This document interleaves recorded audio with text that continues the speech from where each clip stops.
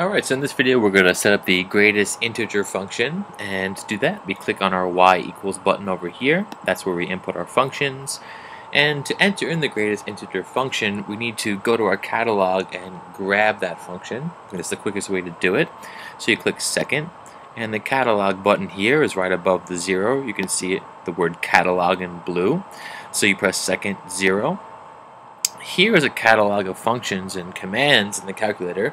I don't want to scroll down because greatest integer function is the int function. I don't want to scroll all the way down there. I think it would take too long. Um, you'll notice on graphing calculators there are letters. And here you can see them if you scroll in. We have letters in like a light fluorescent green, X and Y, Z, and so forth. Uh, we can quickly scroll through this list um, by clicking alpha and then selecting the letter that corresponds to, to the command that we want, in this case I. And for me, the I letter is right above x squared. So I click that, and it scrolls down, but it didn't do that, so I'll do it again. Alpha, and this. Okay, now I'm in the section of commands that starts with the letter I. I scroll down a little bit, and we'll see the greatest integer function, int. There it is. Once you reach it, click enter.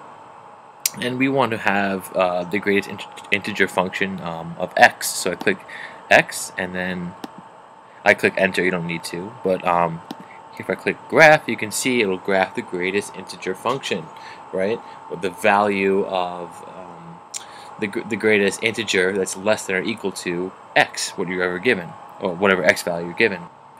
One drawback is that you can't tell where the open and closed circles are on this graph. Let me zoom in and show you. If I click zoom and I click on 2 to zoom in at the origin, press enter, you just see a bunch of lines. You don't see where is the value on the line included and not. Remember, a closed circle means include the value, an open circle means do not include the value. But remember that the greatest integer function means, okay, if you're looking at the uh, greatest integer a function on on x when x is 1, what you're doing is saying what's the greatest integer that's less than or equal to 1. So here, if x is 1, right here at this point, the greatest integer that is less than or equal to 1 is 1, and you can see it here on the graph. So you put a closed circle there because you're including the value 1.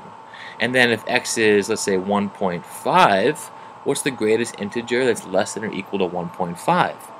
Well, it's still 1, right? That's why this line's horizontal. All of these values for x, all the way up until 2, the greatest integer that's less than or equal to that value is still 1.